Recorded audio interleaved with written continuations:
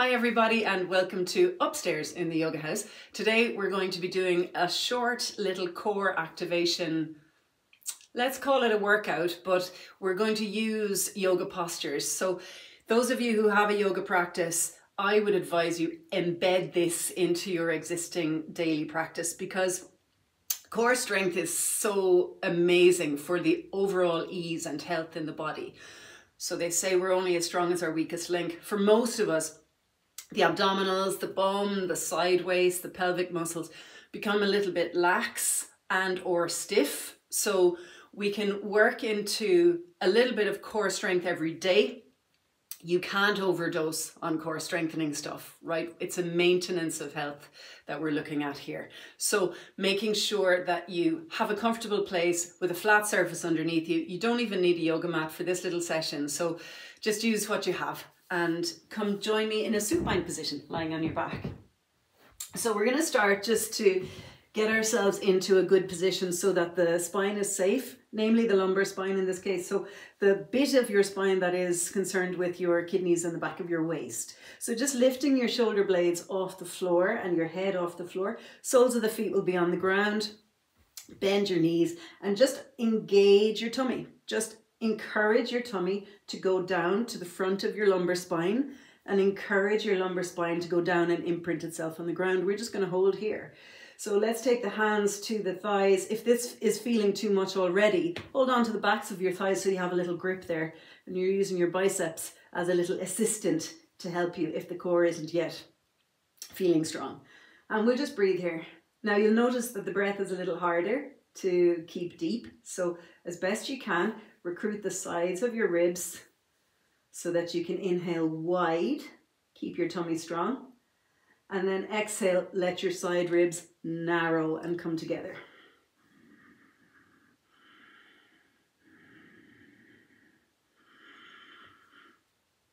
Now, if you feel the tips of the shoulder blades going back down, just peel a few vertebrae off the ground. You can hear the little wobble in my voice there. There's a lot of activation going on.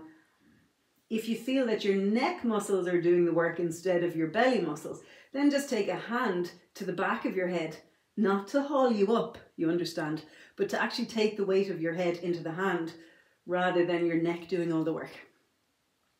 So from there, we're going to lift the left leg Take the right hand over to the outside of the left thigh and hold on to the outside of the left thigh with the left hand as well. Now it's easy peasy to get the right shoulder blade off the floor. You'll feel that. But we're trying to get the left shoulder blade off the floor as well. Breathing here, again in the same way, widen into the ribs as you inhale, narrow the rib cage as you exhale. We're keeping the back of the waist on the floor the whole time for this session. You can plan to flex the left foot as I'm doing now, or if that gives you crampiness, dorsiflex instead. There's a bonus crack there, little click.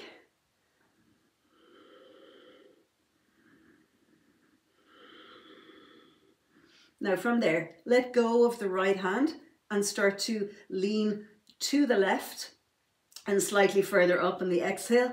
Come back to where you were, tiny movements. Exhale, inhale. Exhale, inhale. Exhale, inhale.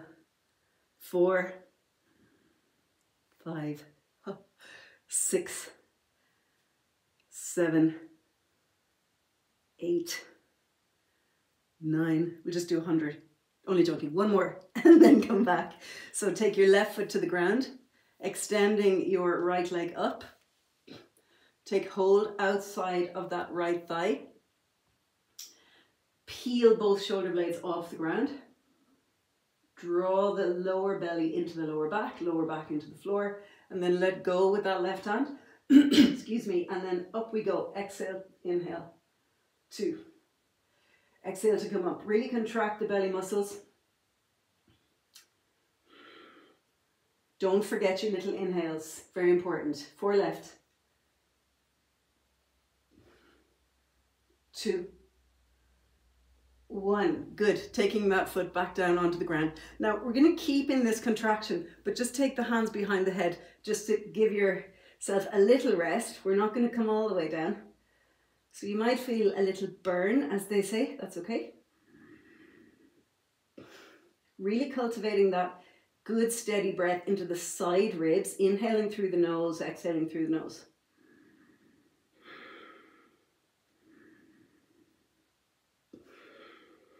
Good. Now we're going to interlace the fingers, point the index fingers forwards and straighten the legs out. You don't need to see my shins and feet for this. My legs are straight. This is called Chakki Chalanasana. It's one of my favorite yoga poses for the core strength. So we're going to work in a sort of a churning way. This is what the name of the posture means. And so we're going to go round, but it's best to do this when you hold the breath out. So we're taking a big breath in now. Big breath out through the nose. Now hold the breath and we're going to do nine circles in one direction.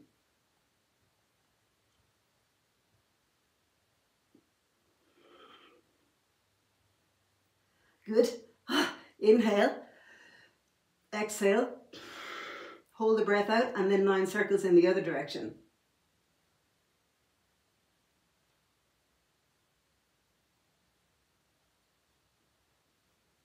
Good. Oh, and then rest your head on the ground. We'll do a little easy bridge, just lifting up and let your breath come back to normal. Now, normally in yoga, we wouldn't hold the breath out while we're doing an asana, a posture, but for that particular one, you have much more access to doing the movement smoothly and quickly. So you're not prolonging the agony while your lungs are completely empty and you have access to real strong contraction in the abdominals.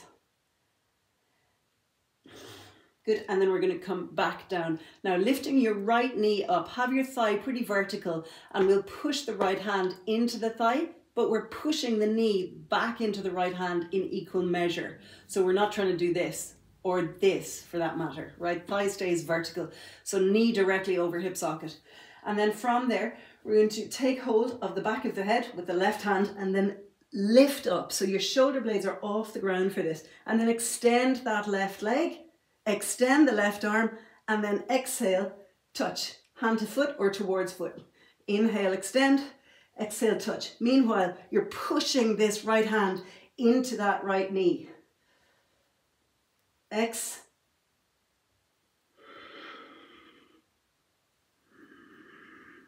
Good, find a breath rhythm that suits you. I was going to call it there, inhale, exhale, but find what suits you actually, because there'll be a different feeling in everyone's body.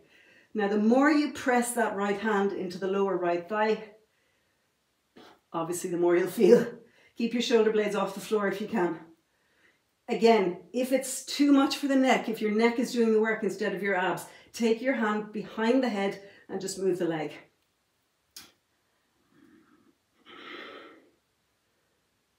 Good, and then hold on to the backs of the thighs, let your head come down, and we'll just take a little rock and roll from side to side.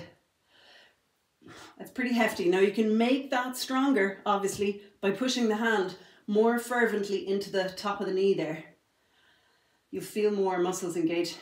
So you're the master or the masteress of this little process here. Okay, we go to the other side. So lifting that left leg, thigh is vertical, push the left hand into the top of the left thigh, and then we'll extend that right leg, right arm back, and then touch. Hand to foot, arm back, hand to foot, arm back. Now keep rolling the tips of your shoulder blades off the ground. That's vital here. This is what's going to really target the muscles that usually get lax in our bodies. Meanwhile, of course, the back of the waist is still on the ground.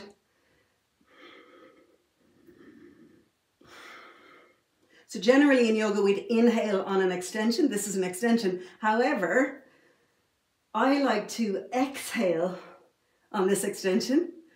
Some of you will know why. So as we extend the arm and the leg away from the center line, they become levers that are heavy. So we need more contraction to hold those heavy weights. It's like resisting training, but you're using resistance training, but you're using your own body. So I would exhale here and inhale here. However, it mightn't seem logical for you. So just find what is good for you. It could be that you inhale here and exhale here.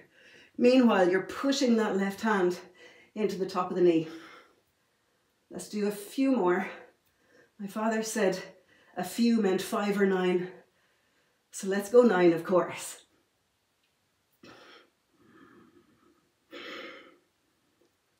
six, seven, eight, nine. Oh, I can feel the sweat coming. Okay, so holding on to the back of the thighs, let your head rest, let your neck rest, and rock from side to side.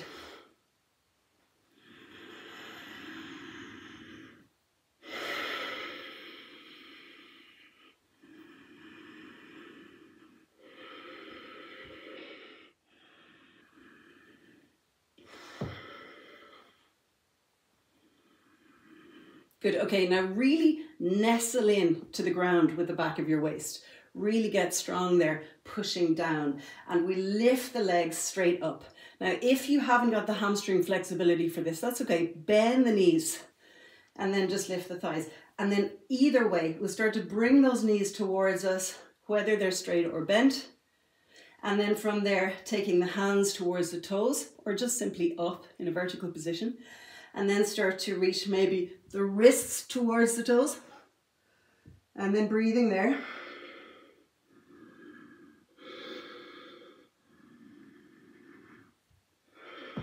Now maybe getting the lower arms towards the toes and start to lift your sacrum. It's a little bit of a balance.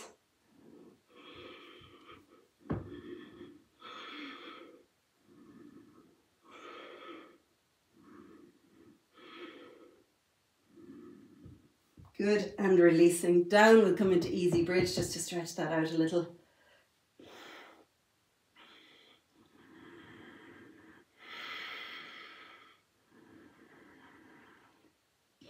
A lot of people dread and avoid core work, but honestly, it's a fast track to empowerment.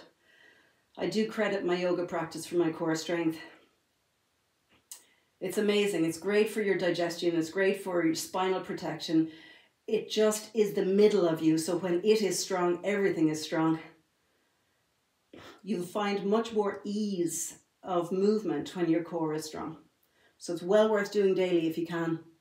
Obviously, ladies, if you're on days one, two, three, or four of your moon cycle, it can be a bit uncomfortable. So just do the ones that feel okay on those days and then slowly we'll come down. Now we'll take the hands to the floor, just help yourself up gently. And then we're going to work into just three stages of holding, working into a bit of endurance. So rather than reps, we're holding for this last little segment. So we'll take the hands forwards. You can hold on to your knees or onto the backs of your thighs, or you can take the arms forwards. Now from there, we're just going to lean onto where the tailbone meets the sacrum. The back is rounded, holding there, shoulders down. If you need that extra support, you're holding onto your knees.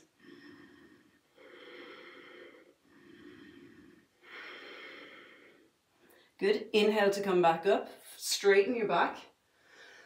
And then exhale, we'll come down to the lower back. So you're on your lumbar. Can hold on to your britches, your thighs, whatever feels good or you can take the arms forwards.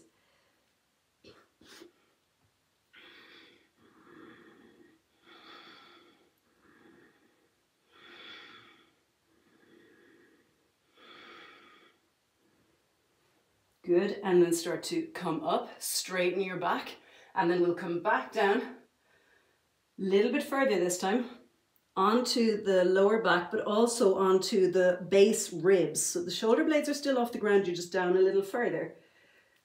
Again, draw the front of your core down to the back of your core, back of the core down to the ground.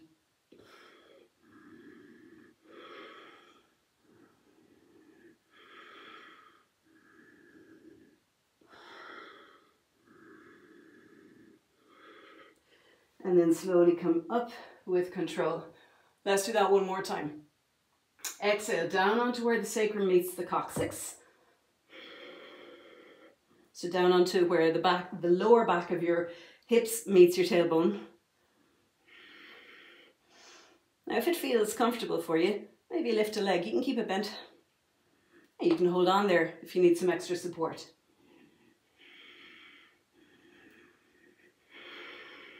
Maybe lift two legs. If not, keep the feet or the foot down. Inhale back up, straighten into your back, and then exhale, roll down onto where the top of your sacrum meets your lumbar spine. Maybe lift a leg or two. Maybe straighten the legs.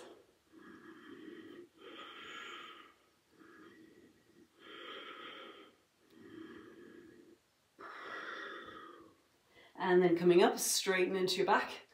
And then last one, rolling down. All the way down now, onto the lumbar, but also onto the lower ribs, but you're still keeping the tip of the shoulder blade off the floor. Squeeze the tummy down. Maybe lift a leg. Maybe lift both legs. Maybe straighten the legs, but only keep the lumbar spine on the ground. If you're feeling it, take the arms back too, but keep your shoulder blades off the floor.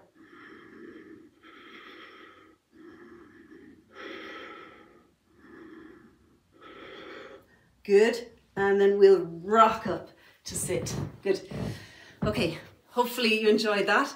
I'm hoping that it felt effective for you. If it didn't, go back to the start, press play again. Two rounds of something is always going to give you a slightly different sensation. Not only does your brain know what's happening, but also your muscles are a little bit more familiar and they're going to come into line a little bit more effectively. So wishing you all a great day, guys. Thank you for being with me here in the Yoga House. Namaste.